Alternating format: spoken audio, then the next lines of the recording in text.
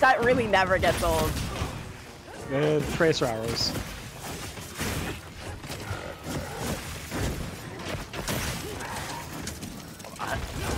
Oh. Oh, that, was. Oh, this gun, uh, this gun is nice. 275 damage.